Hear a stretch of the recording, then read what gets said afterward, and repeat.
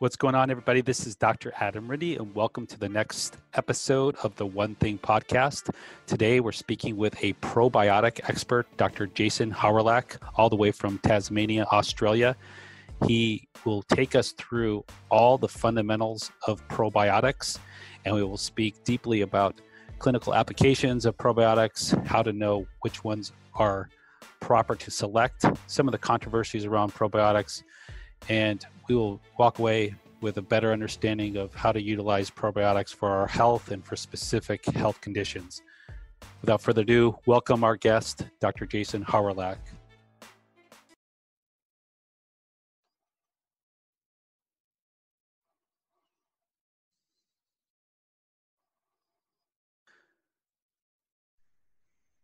I'm here today with Dr. Jason Hawrelak. Jason, welcome to the One Thing podcast. It's great to have you here.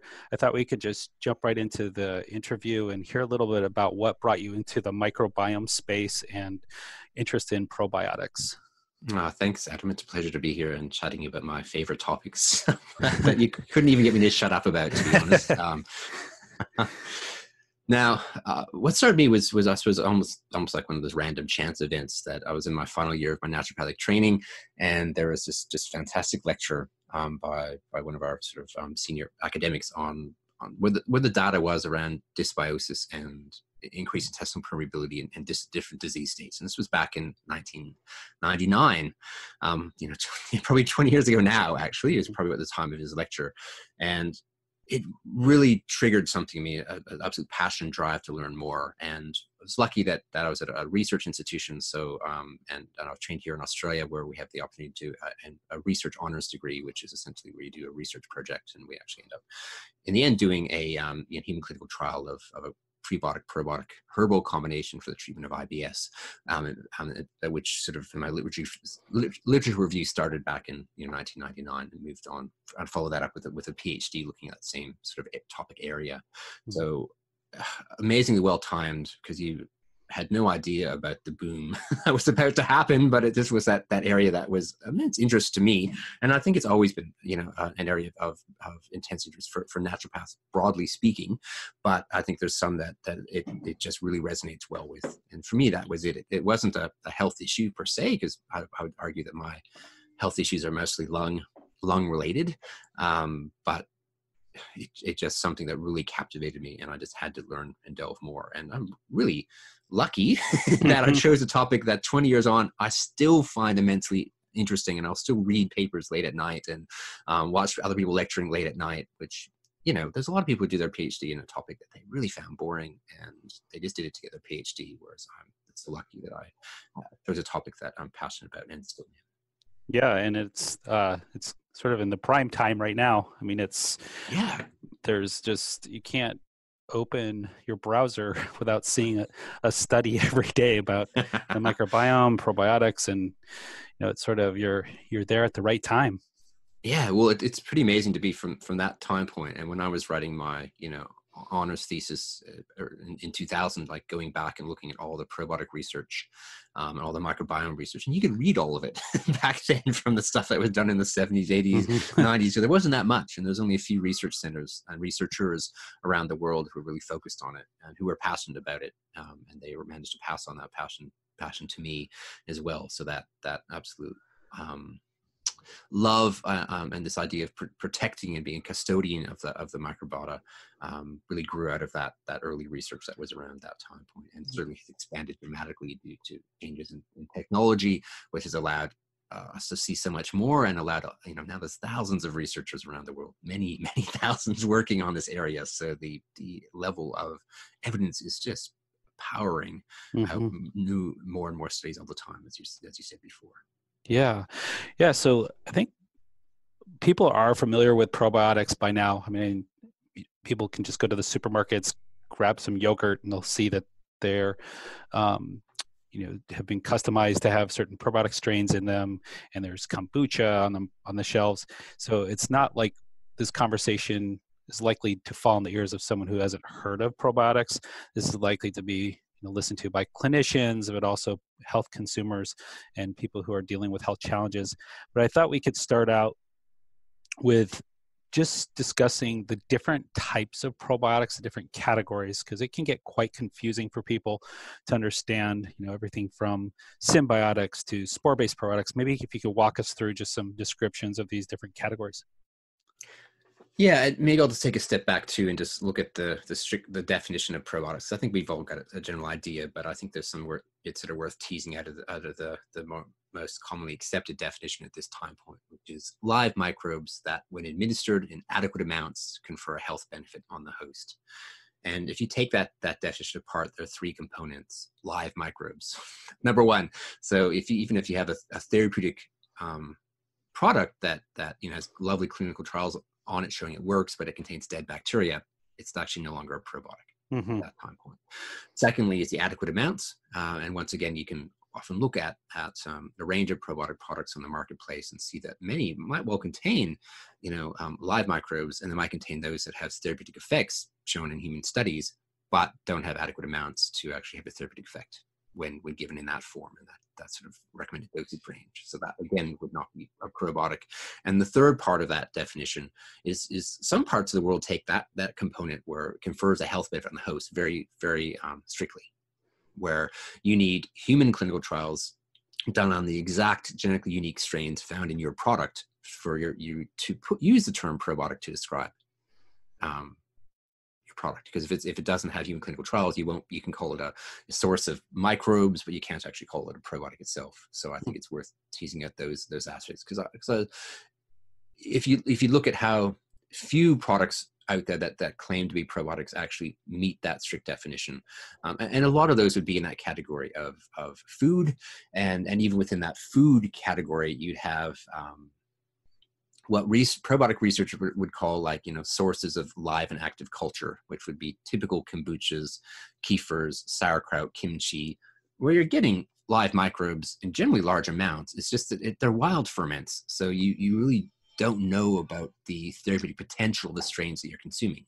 You don't know about the the, the basic details of those strains. Do they do they have the characteristics that that are essentially um, vital to have a have a chance of, of, producing therapeutic effects in humans. And that would be things like gastric acid st- stability, bile salt stability, you know, so that can survive transit to the upper gut. Can it adhere to, to intestinal cells? Um, does it produce you know, antimicrobial compounds that might have a selective, you know, decontaminating effect on the ecosystem or, you know, sort, sort of shift the ecosystem to something better? Um, and then there's another category of, of those you know f- food sources of, of microbes that actually I'd, I'd, say would meet the definition of, of probiotics where you might have a, yogurt base, um, which would use a you know nondescript strain of, of Lactobacillus delbrueckii, subspecies bulgaricus, and Streptococcus thermophilus. Those are the two, two species that have always made milk into what we call yogurt today. Mm-hmm.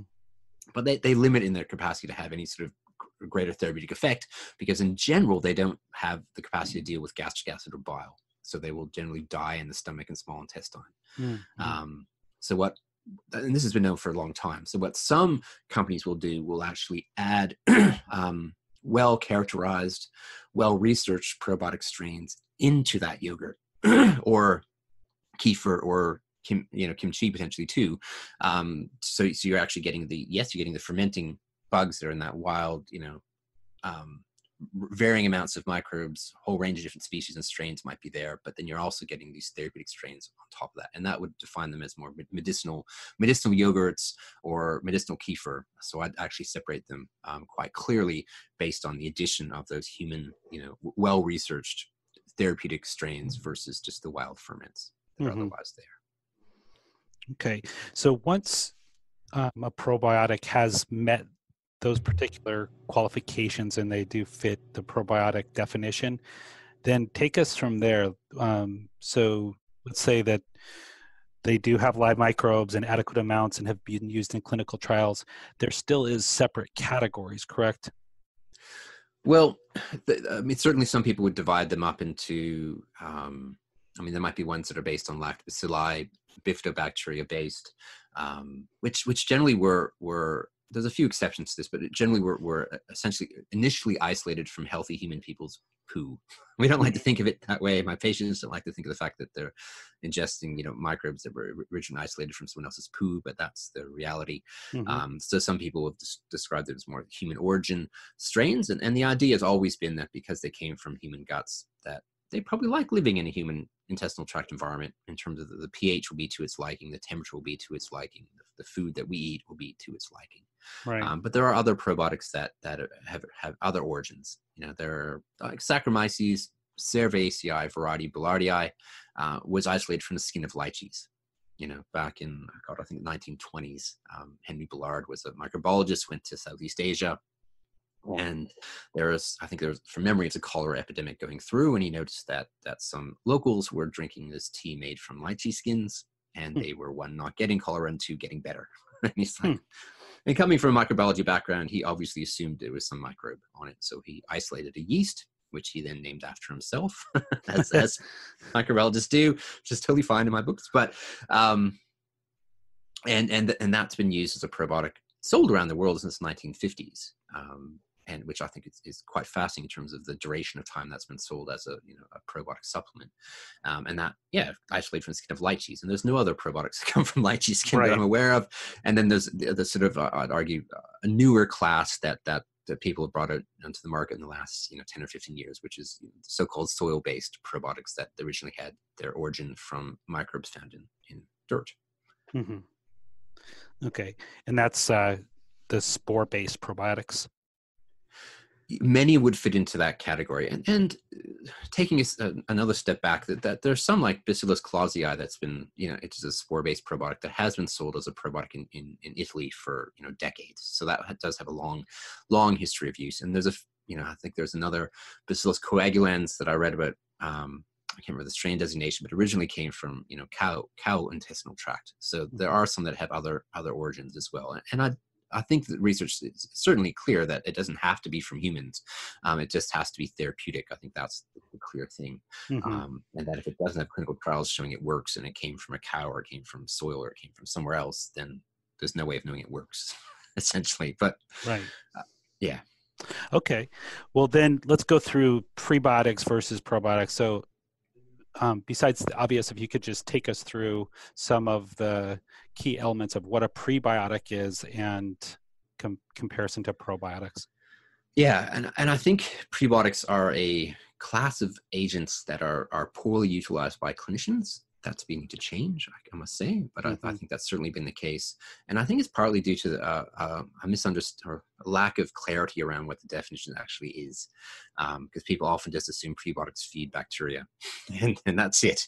Mm-hmm. Um, and it's not quite right because there's there's again the, the strict definition is, is, a substrate that is selectively utilized by host microbes conferring a health benefit and for a food ingredient or supplement, etc., to be classified as prebiotic, they have to meet sort of four criteria. One, be indigestible. So we can't break them down or, or absorb them because then they won't reach the, the lower gut to be therapeutic. Um, two, they, they act as a selective substrate for one or limited number of, of what we generally see as beneficial commensal bacteria in the large intestine primarily. Three, they shift the ecosystem to a healthier state. And four, there's some health benefit that comes from that that shift. Um, and when you strictly enforce that definition, there's a lot of things that don't meet that. You know, mm-hmm. like there's a whole range of dietary fibers which are essential for us to be consuming, but they don't meet that definition of prebiotic because they might feed 30, 40, 50 different species in the gut. And that's not a bad thing. It's mm-hmm. just that they're not prebiotics by, by definition, um, whereas a prebiotic really is selective. And if you do um, really good stool testing, you can clearly see this. Um, the before and after results of, of supplementing with a prebiotic supplement is you'll see exactly what the research tells you. you see like an increase of, of you know, most prebiotic supplements that we have access to now will target bifidobacteria. There are some that will also feed a bit of lactobacilli, um, some that will feed out Faecalibacterium and Akkermansia. Those would be probably the, the four with the best data set, and, and another um, group called butyrate producing bacteria, which is a, a, broader group of organisms. But you can clearly see the shifts. And, and this is where I think prebiotics are absolutely wonderful when you have an ecosystem um, you assess the ecosystem and it's like okay you're you're you know the diversity is okay but you're actually really low in bifidobacteria or potentially you know below detectable levels of bifidobacteria. Mm-hmm. here we can imp- introduce a prebiotic into their regime. You can do a follow-up test in two months and the, you'll see almost exclusively the bifidobacteria population goes up. It's, it's pretty pretty clear how selective it is but you also get because of the, the shift in environment that occurs with that prebiotic ingestion, uh, generally a lowering of the pH because you're getting increased short chain fatty acid production due to feeding bifidobacteria mm-hmm. generally, or Faecalibacterium or Akkermansia, you, you will get, get a, a, reduction in potential pathogens as well, or pathobiont populations. Mm-hmm. And pathobiont is a term often used in the microbiome literature. Um, that's really describing species that, when present in the right amounts um, in the right area, are actually healthful and don't cause any harm. But if they have a chance in, in the wrong environmental conditions or the wrong numbers, causes harm. Um, and then most of the research around dysbiosis is, is around that definition of pathobionts rather than single isolated pathogens. But what I love about prebiotics is you tend to see pathobiont populations go down with their hmm. use, mm. as well as as species that we tend to classify as beneficial, like bifidobacteria, Faecalibacterium, their populations actually increase. You can see massive shifts um, with that. Now, if I got that same patient to eat, you know, more fiber, we're still going to have some nice shifts to that ecosystem, mm. but you're not going to have that same, you know, thousandfold potentially increase in bifidobacteria right. as a consequence of that. There might be a slight increase because they might be enjoying some of the, the fruits of that fiber too, but they're not going to be, be selectively fed in the same way as with a prebiotic. Yeah, I mean, I think that's a really big point right there and helpful point because a lot of the patients I'm sure that see you would not tolerate just being loaded up with lots of fiber and the fact that you can step back and say here's what I see is something that's specifically going to help you versus just kind of taking an aim at the the whole ecosystem with um, increasing fiber in the diet. Yeah, and and I, we were speaking before this was recorded about the the different um, patient sets we see now, and you know, I still recall the days I could I could be much more broad with my recommendations. Yeah, they were um, generally you know, healthier population base, whereas now we're seeing people that are often far far farther along in the disease um, process. So, right. Um, yeah, and I think we have to be more gentle and targeted with how we approach. I think people are looking for answers in their gut now more than ever. So they're yeah. coming to us with all sorts of chronic conditions um, not just um, irritable bowel syndrome or some some constipation or diarrhea. This is sort of a complex health condition, and they're looking at their gut for answers.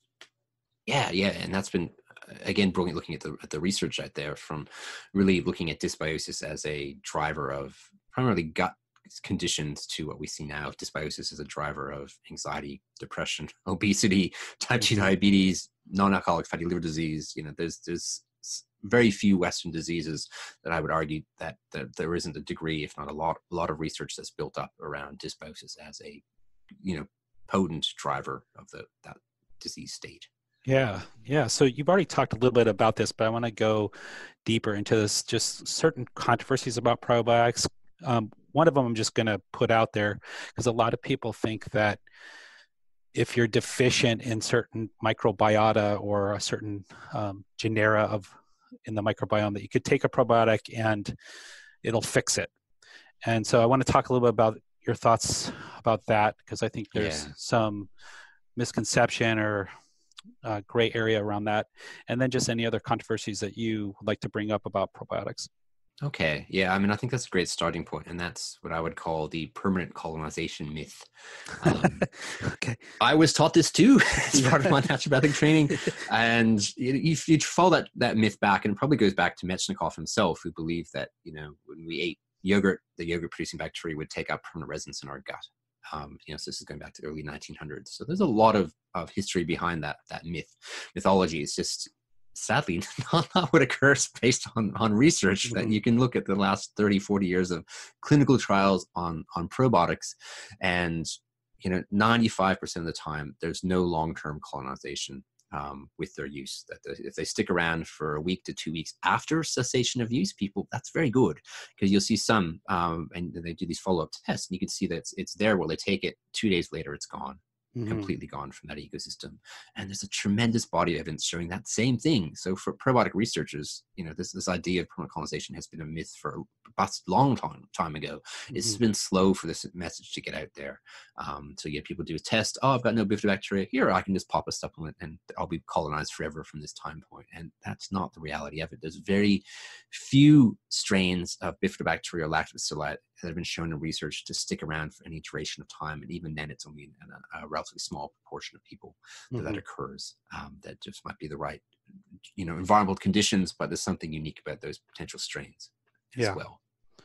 So I think that we have to put paid to that one. And I think that really shifts your consideration and view of the microbiome too, because if you've got this idea that you can just hammer it take you know tons of antibiotics and not worry about the consequences. You can just pop up you know a high potency multi cfu um, a multi-strain high cfu sort of probiotic supplement you'll recolonize your gut then i think it, it cheapens um, th- there's no appreciation for the complexity of that ecosystem and the fact that that's not real and, and i think if you you have to think of that ecosystem as, as if you're a custodian of that and it's, it's not that simple. Yeah yeah listen you could do a fecal transplant but that's a whole new ball game in terms mm-hmm. of getting your head around you know you know somehow getting other people's poo into your system and that does have the capacity to, to recolonize it in a much different way mm-hmm. than current generation um, probiotics it's just that lactobacilli and bifidobacteria in current versions of supplemental forms don't have great capacity to to to colonize the gut for any length of time so yeah so, so myth one.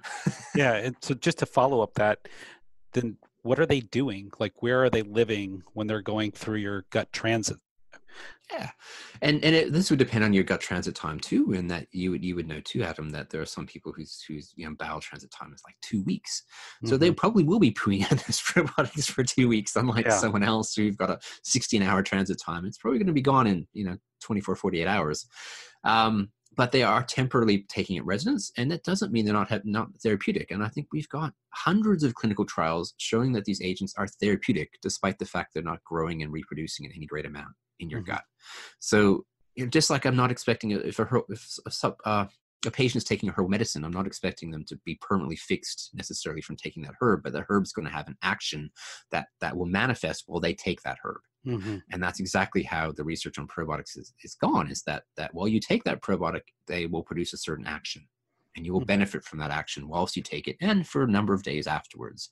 And sometimes that might be all you need to do is take it for six weeks to, to get the full benefit of that. And that might be for, you know, maybe the prevention of antibiotic associated side effects and, and helping to prevent like a C. diff overgrowth post antibiotics. Maybe six weeks is, is totally enough for that that action. But there'll be other times where, you know, there are some probiotic strains that that let's just take say for the sake of argument can um, decrease cholesterol levels. So whilst you take it, it'll lower your your you know it'll break down cholesterol in the gut and you won't absorb it and your cholesterol levels will go down. But you stop taking it, the cholesterol levels will go up. Mm-hmm. Yeah, and there's another strain that that's used in Europe that produces uh, an ACE inhibitor. Um, and while you drink that fermented milk you get this in ACE inhibitor and your blood pressure goes down. Mm-hmm. You cease drinking that milk and cease ingesting that strain, your blood pressure goes back up. You haven't treated any of the underlying issues, obviously. You're just taking something that has a therapeutic effect. Just like right. if I just give a patient, um, my favorite herb for hypertension is Rosella. And mm-hmm. after two weeks, almost everyone has a decrease in blood pressure, but it, if they stop taking it, it stops working. Um, and if we haven't fixed the reason why they have high blood pressure, it's going to go back up. Yeah, so I think it's it's clearly just looking at probiotics as as therapeutic agents that have specific actions. We just need to match the action of the probiotic strain to the condition or physiolo- physiology we, we want to change. That makes a lot of sense to me, and um, I think it it will ground us in knowing you know how to work with them better yeah. just kind of busting that myth. So, um, yeah, for sure. And if you look at the what you know, there's probiotic trials showing that probiotics are helpful for like cervical dysplasia and and you know mastitis, and there's a whole you know anxiety, depression. All these things aren't related to you know necessarily the lack of of probiotic colonization in the gut, or not, or lack of sorry, lack of bifidobacteria populations in the gut. And maybe there is for some of those conditions, but it, it's truly to do with the action of that particular probiotic strain. And then there's some strains of bifidobacteria that that you know speed up gut transit time you know, and that's been very helpful for a slow bowel transit time or your constipated patients. Um, mm-hmm. But again, it, they stop taking it if you haven't fixed the underlying issue. It's going to cease working. Mm-hmm. Any other controversies that you that come to mind to you about probiotics? I think one of the ones that that is I've been trying to bust for nearly 20 years now is the, the, the antibiotic issue about when do you take the probiotic along, you know, with antibiotics? Do you wait uh, until afterwards? Do you do it during? And and I can say conclusively based on you know meta-analytic data you know top grade data that you take the probiotic during the course of antibiotics you don't wait till afterwards. Mm-hmm. um, maybe not in the same mouthful. Ideally you want to space it out by a couple hours if you can. Um, but if you can't same mouthful will have to suffice. But we know from from you know dozens of studies that we actually get less side effects and other studies with other strains show less damage to the ecosystem if you take it concurrently. So there's absolutely no benefit to waiting till afterwards. In fact, you're arguably causing a patient harm if you're telling them to wait until after um, antibiotics are over before they start ingesting the program. Mm-hmm. Yeah, we're we're seeing a good trend with even conventional providers making this recommendation now. I, I don't know how it is in Australia, but um, are you seeing that trend as well? It's happening more so, but I'm still surprised um, when I'm in, in um, clinical practice how, frequently or infrequently people get told that when they're still given a course of antibiotics. Just, right. Yeah. You know, um, I'm just surprised, despite the because the evidence has been there for a long time. It's not you know new 2019 research. It's been there for a long time. It just, yeah. as you know, it takes a long time for research to filter out and change practice. Yeah. Sadly, for our patients. Yeah. And so one of the, I mean, one of the top aspects of your website, the Pro Probiotic Advisor, is that you go through and you have sort of a ranking of research um, on probiotics and which clinical conditions are most likely to benefit from probiotic use and specific strains. So that is a really helpful resource for anybody listening out there. And um, I just wanted to mention that, but I wanted to go into just a few of these clinical applications um, of probiotics, some of the most noteworthy that you can think of that maybe are that's emerging, and some that have just been solid for a long time. Yeah, because I, I, think that is interesting because you, you, you, go back and, and, I'd say what are considered to be more traditional uses of probiotics, which are generally around the, the gut stuff. You know, uh, I remember looking at when I did my literature review, finding studies of, of probiotics and IBS going back to the 1950s. You know, mm-hmm. so that's that's been known for a long time. Um, inflammatory bowel disease, antibiotic associated issues generally that were given afterwards. Um, you know, um, thrush issues. I'd, I'd, say those would make up the bulk of, of probiotic use for for a long time. But what's been fascinating is, is just seeing that that shift from um, now we're seeing research of probiotics for Alzheimer's disease, for anxiety, for rheumatoid arthritis, for asthma prevention, um, you know, for, for prevention of mastitis, recurrent mastitis, for treatment of cervical dysplasia, um, celiac disease, chronic fatigue syndrome. Um, you know, the list goes on. In fact, there's a, there's a whole large list in my, in my, my database that you can just look by conditions and, and we list, you know, and these are human, human clinical trials, um, on strains that are commercially available you know and and there, and sometimes there's, there's, a number of other strains that like there's, there's some research on, on probiotics and endometriosis for example. It's just that these strains aren't commercially available at this time point um, that have shown great efficacy for that condition and, and i think that over the the coming years we'll, we'll get access to more of these tools in our clinical practice because that's already happening at a quick pace. Um, but we'll just start having this huge essentially what I would call a probiotic materia medica um, to to co- to um, coexist beside our herbal materia medica and then our you know normal um, you know vitamins and minerals in, in our in our um, dispensary to to help our patients because you know there's going to be soon you'll be have 30 or 40 different probiotic strains you could potentially um, recommend for different health conditions. Yeah. So it's an exciting time to be a clinician really in our field.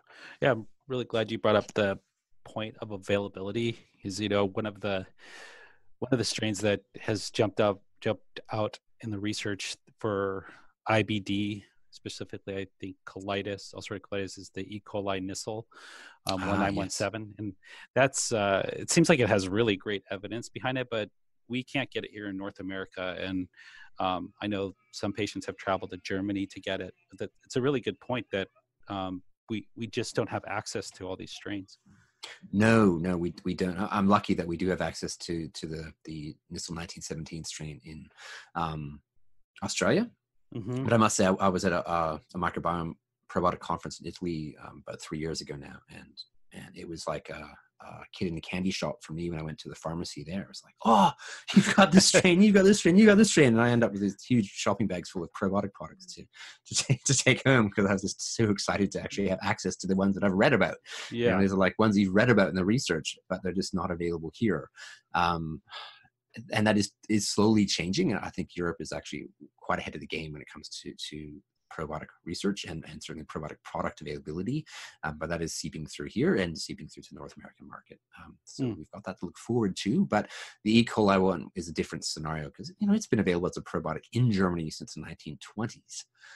Long time in the marketplace, great safety profile, but I think because it's an E. coli, um, North American regulatory authorities are extremely cautious about its use, despite its long, long history of safe use. And, you know, we're probably talking, you know, many dozens, if not over 100 clinical trials um, showing a great safety profile. Yeah, that that's really a good point, and I think you know it's it'll be interesting to see um, over the the course of the next few years if we're going to see increased access um, throughout the world for various strains and um, hopefully i imagine it's there's some various uh, forces at play like marketing and um, essentially you know business agreements that um, are required to to bring strains to various other regions. Yes. Yeah and, and sometimes that means there's there's exclusivity as well like like culturelle and l rhamnosus gg for example i think they had an exclusivity agreement on the U.S. market for a long time that maybe just as lapsed or something like that because of this now more products with with that strain in it, for example. Mm-hmm. Okay, well, if if uh, someone is going to shop for a probiotic and let's say they don't have a healthcare provider helping them make this decision, what are some general criteria that you would mention? Oh, that's a tricky question, Adam. I think, to be honest, you need a healthcare provider to to adequately work your way through the probiotic literature um, and to find the, the best one to to um, help you. You know, if you're just generally healthy and and wanting some sort of microbial exposure, you're better off just having fermented foods like sauerkraut and kimchi, or some, you know, even some nondescript yogurt. They're all fine if you're just after some sort of uh, microbial interaction going on. And we know that even those yogurt bacteria that die in the stomach and small bowel people that eat yogurt, their, their immune system is ramped up a bit more and they're less likely to, you know, their natural killer cell activity, et cetera, tends to be a bit ramped up. So even exposure to, to dead, dead microbes, um, which, which is the worst case scenario of eating sauerkraut, kimchi, key, for example, will, will tend to improve your, your general immunity. So you'll get sick less often. So that's a good thing. But if you're trying to target specific, you know, health conditions, you're really better off um, either becoming really research savvy yourself, but I think you're better off working with a health professional who already is very research savvy and has clinical experience they can bring bring to the equation because it's a challenging area to navigate based on label claims. And if that's what you're relying on is is you know someone who's not trained in, in, as a healthcare professional to to read the label and then decide whether to take something or not, you'll be lost, mm-hmm. and you won't.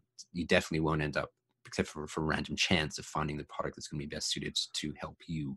Um, and essentially, you could arguably be wasting your your resources um, doing that. And you're better off really working with with a clinician who is well read and knowledgeable of the field of probiotics and has experience in in, in helping people with a similar condition to what you've got. Right. So I'm just going to put this out there. So going out and selecting the probiotic with the most different species and the the highest CFU count um, is not necessarily meaning you're making a good decision. Definitely not. no, I, I, think it's it's it's you're you're right though. It's a great question or a great comment because there are so many people out there in the blogosphere who thinks that all that matters is getting multi-strain and high CFU, and that's not what the research tells us at all. And and you can look at this great example of um, antibiotic-associated side effects, antibiotic-associated diarrhea specifically, and I'll look at the results of two different studies. One study used 60 billion CFU per day. CFU is colony forming units. So, so a single bacterium is, is a colony forming unit. 60 billion of four different strains, two types of lactobacilli and two types of bifidobacteria. And they gave it to him alongside antibiotics to try to decrease the incidence of, of antibiotic associated diarrhea and, and C. diff infection. Another study used one strain, um, lactobacillus reuteri DSM 17938, at a dose of 200 million CFU per day. 200 million. Mm. So 600 times less single strain. You look at the results of those study studies, and you find that the the four strains in that 60 billion CFU did not help reduce the incidence of of um, antibiotic associated side effects or C. diff. Whereas the 200 million um, CFU per day of the single strain of L. reuteri did mm-hmm. significantly decreased diarrhea rates and reduce C. diff sort of um, incidence as well from memory. So, and that's a classic example showing that a single single strain with the right action mm-hmm. has the right qualities for that task was the best job did the did, did the did the work that we wanted mm-hmm. to but the other strains that might be good for something else in fact there are some research mm-hmm. on those same four strains that failed in antibiotic associated diarrhea that they're helpful in ibs you know so they might have some for example anti-inflammatory activity in the gut that could be helpful for ibs but they were completely useless for for preventing antibiotic associated diarrhea and mm-hmm. I think mm-hmm. that is an example that clearly shows that just choosing choosing high CFU multi-strain over um, strains that have the actions that you're after will will generally result in in far less therapeutic outcomes mm-hmm. or worse therapeutic outcomes. Okay, so you have a very eloquent and scientific way of looking at the microbiome based on some of the classes I've seen you teach and so your methodology. Can you just share a little bit about some of the testing you do and what where you see that going? Yeah, um, these these days because of the the affordability, I tend to check the the microbiome composition for nearly every patient, and this has been a, a great breakthrough for someone that's been reading about microbiomes for you know, nearly 20 years, mm. um, and that but not having access to tools to properly assess until probably the last you know five or six years, where mm-hmm. the the the cost point made it actually more doable, and the technology has um, come down in price in terms of getting a proper view of the microbiome because previous stool tests had some degree of uh, certainly helpfulness in clinical practice but they were lacking the, their capacity to give you a full complete picture of the microbiome unlike today's ones that really do a good job of that that aspect mm-hmm. um, so for me you know i would often do uh, an intestinal permeability test for many of my patients because I think that again leaky gut is a common driver, and rather than making the assumption that patients have it, um, I find it more useful to actually assess. And I use the lactulose mannitol test, which I know is, is um, uncool in some circles, but it's still mm-hmm. arguably the most validated, valid test for assessing uh, for, for gut leakiness. Mm-hmm. And um, then you get that lovely baseline of going, okay, how, how, how, not only do you have leaky gut, but how severe is your leaky gut? Mm-hmm as well. And for me, that that is immensely helpful because it motivates patients. Because, because healing leaky gut is something that I find um, because I do lots of follow up testing after pre you know pre treatment testing is generally a three, six, nine, 12 month um, process mm-hmm. that you can see how severe it is. That gives you an idea of what the time frame will be, and it's also they may not feel much different from from taking a leaky gut healing protocol. Um, for three months or six months and you know you're asking them to spend you know a fair bit of, of not only, only money but their their energy and, and mm-hmm. timing to fit this into their routine to take you know their mega doses of glutamine or what else it might actually be mm-hmm. um, and i find it's much better compliance wise if i have a definitive diagnosis of what's going on and then we also have the, the capacity to do a follow-up test and i can think of um, one patient chronic fatigue syndrome we, we did a microbiome assessment and uh, leaky gut you know assessment and gut was definitely leaky um, and definitely dysbiotic state. We addressed those two two things and you know working with him touching base you know 12 months later. And he was about 80% better um, and, and across across pretty consistently across the board. And you know which is which is not a bad outcome and i think we're both happy with that but we're like obviously not totally content with sticking it being 80% better right. so we did a you know a follow-up gut um, permeability test and lo and behold his gut permeability had improved by around 80% mm. i'm not not even joking mm-hmm. um, but it still hadn't normalized yet. And for me, this was like, ah, okay, this is a perfect example. Because if I just would have done that single test at the 12 month time point, I would have gone, okay, your gut's leaky. Um, but we would have had no idea of going, okay, it's actually improved a lot it means that what we're doing is working. It's just going to take more time in your case. And this was a case where it took longer than what most patients would, um, mm-hmm. um, for whatever reason. Um, but I think doing that that initial testing was was extremely important in that case for us to get an idea where we're at and, and how long much longer we would take to get to where we both wanted that patient yeah. to go. Such a great um, example. Thank you. Yeah, and, and and I think microbiome assessment now that that is, you can get particularly when you're U.S. based you know access to labs that are offering that testing. The American Gut Project, um, previously uBiome up until two weeks ago, or potentially Thryve, where you can you can get you know 16s R, RNA technology to to to look at the the main genera and the proportion that ecosystem for around the hundred dollar mark, and that is a game changer. Um, mm-hmm. Um, I've certainly found it to be so you know before that i was using some functional tests that that gave you you know a look at, at you know inflammatory markers in the gut and immune markers short chain fatty acids which I, I, love that that component of stuff too but you, you might get a look at you know 12 species or maybe 20 species that are in the gut and the more advanced ones but that's nothing when you look at the 100 some species that might actually be there um, yeah. and getting the overall diversity score and, and those tests might have been for some of my patients we were paying this is an Australian thing, but you know, eight hundred dollars for the test or six hundred dollars for the test. It's like that's a whopping big investment. And as a one off for initial screen, sure. But for follow ups, you know, I was not going there for follow ups. But when it's around the $100 mark for a follow up test, it's been brilliant mm-hmm. to actually be able to do frequent follow ups. Have my interventions that I'm recommending made the changes we wanted, and it helps you to to gauge dietary compliance as well you know, might suggest that based on their initial microbiome, you can see clearly what species are being fed and what are not. Mm-hmm. I mean, mm-hmm. there are other things, factors that have to be considered too in terms of antibiotic use and you know, probably initial seeding from from the family too. Um, but you can clearly see, okay, well, your Bilophila wadsworthia is high, and that species eats bile. Mm-hmm. It only eats bile, and it only eats bile really that comes from us eating saturated fats primarily.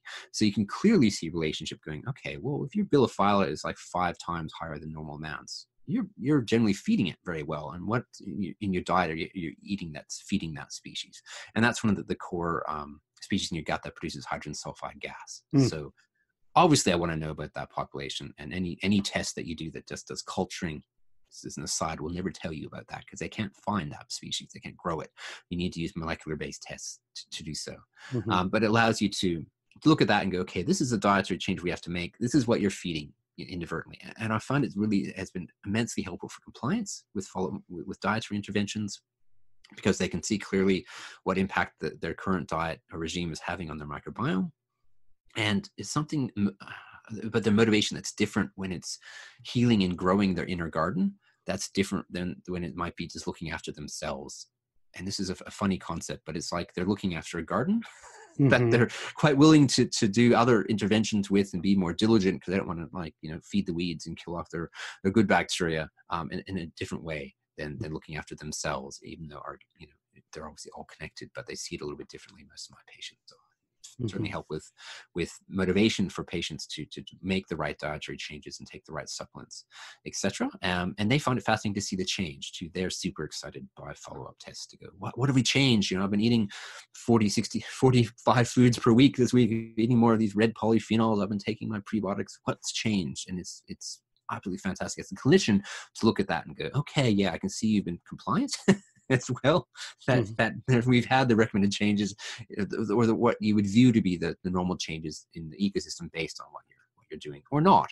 And that also can bring up a talking point okay well you're you haven't been as compliant as you have on certain aspects of things. What can we tease out about this um, as well? So i found them uh, uh, there to me there are essential tools in my my toolkit now that yeah listen 10 years ago i would have practiced without them um, but i could not practice without those tools now, and nor get the results that you tend to see, what I see now compared to, yeah. to the yeah, I agree. They just have really helped crystallize some of these concepts, which um, and help us be more personalized in our recommendations. Yes, definitely.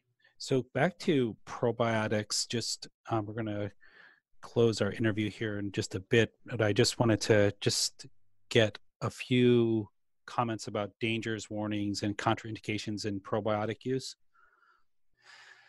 Yeah. Now, if you look at the the research data around around probiotics, and there's been a couple of systematic reviews that have looked that have been essentially safety reviews, and they've generally found that. I mean, there's one systematic review that used included data from 620 odd probiotic studies finding that there was like no increased risk of any adverse events in the probiotic group versus placebo groups so, uh, no increased risk of GI side effects or infections or serious adverse events. Um, and there was another review done in, in, in, pediatric populations showing that kids that took probiotics had less side effects than those on the placebo.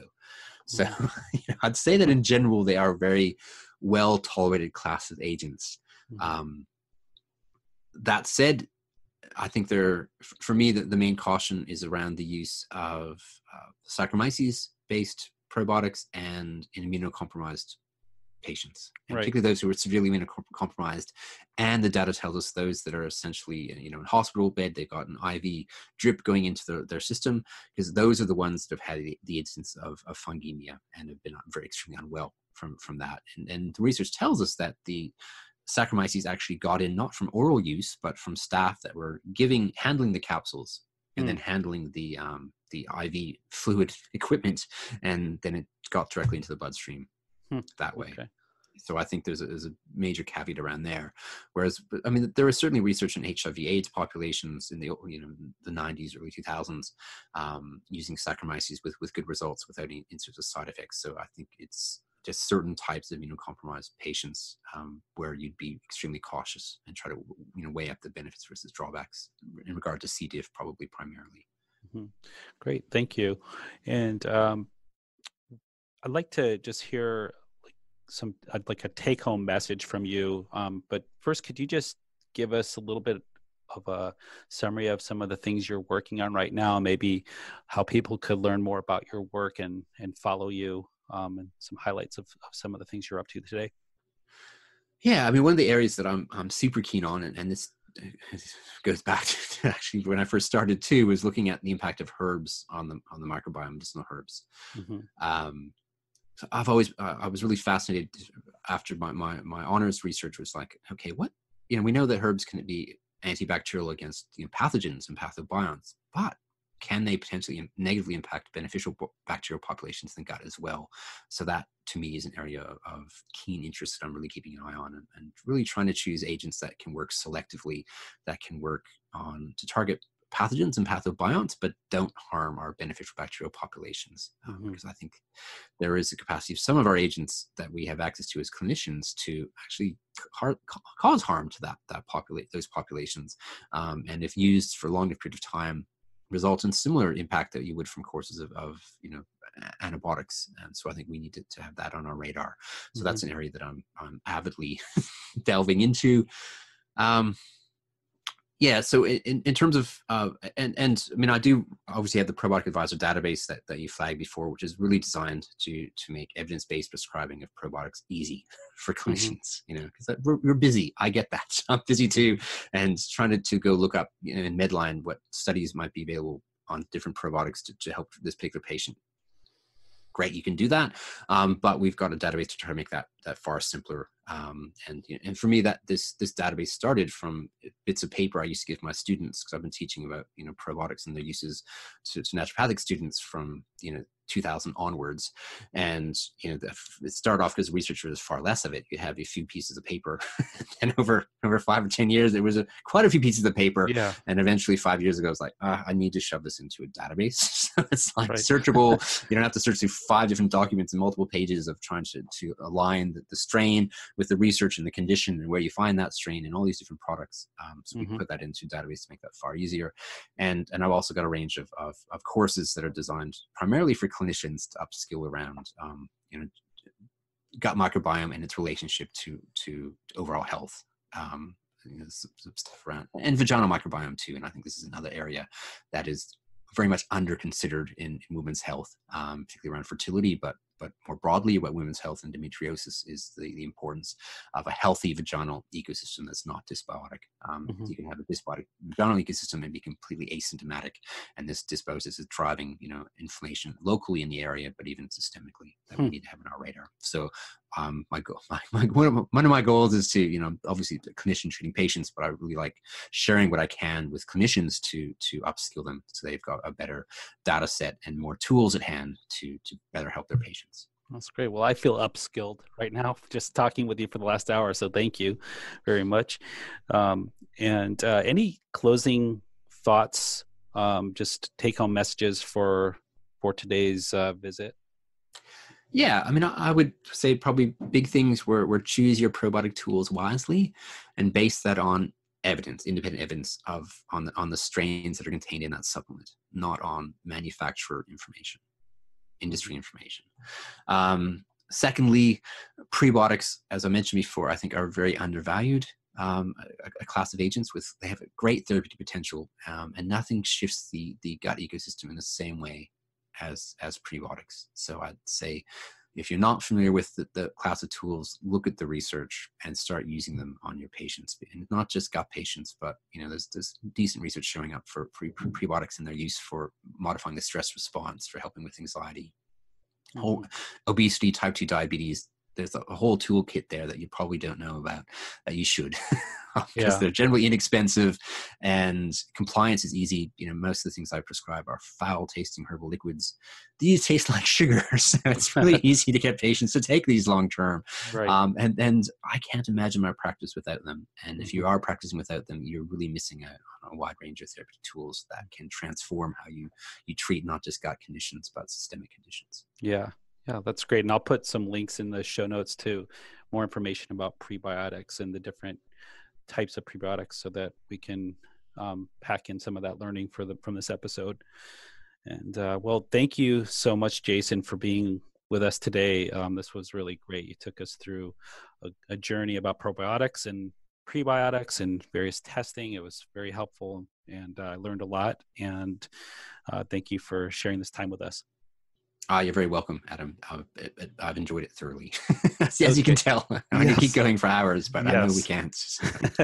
All right. Well, thank you, and I hope to catch up with you sometime. Thank Maybe you for we'll, tuning in we'll to circle the back and speak about um, podcast some of the other my guest, Dr. We, Jason Hawrelak. My name is Dr. That'd be great. Rinde. I'm the host of right. the care. One Thing podcast. You too. I really appreciate you all tuning in, and please take a moment just to hear some concluding thoughts on this episode and also, please like the episode in your podcast player if if you found it useful, informative, or inspiring.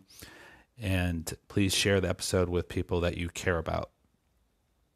So here's some concluding thoughts. Um, I use probiotics quite extensively in practice, but I don't use them usually right out of the gates with people. Sure, if someone is doing generally well with their health and they're looking for preventative medicine ideas, we might use probiotics as a preventative health intervention.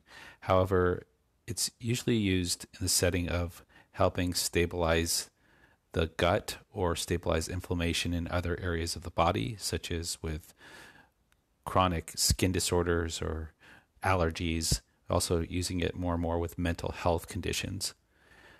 I have seen probiotics do a lot of things clinically. You know, we usually see when they're used right and with the correct strains, better stool consistency, um, better intestinal transit function, and the quality of stools are improved. I also see in some patients less anxiety and depression with the right strain of probiotics.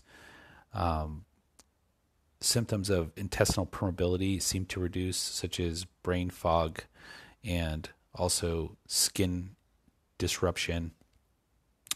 We also see less gas and bloating. Those are some of the really obvious signs that a probiotic is beneficial. And I am really moving in the direction, like we talked about in the in the podcast, of using prebiotics and using them wisely and helping people to get more flexible with their diet so that they can expand the prebiotic intake in their diet as we are aware, that's probably a better long term move um, uh, than taking a probiotic. Also, growing interest in my practice is the, the rise of fecal microbial transplant and its applications to shift the microbiome more permanently than, say, a probiotic. So, for now, I think taking some of the advice of Dr. Hawrelak and really investigating specific strains not falling to hype of claims on labels, but actually going in and figuring out what strain is needed for a specific problem, and then using quality manufacturers that are doing um, testing and have um, proven that there's viable organisms in the product, products you're buying. So this was uh, hopefully as informative to you as it was for me. And um, again, we'll see you next time on the One Thing podcast. Thanks again for tuning in.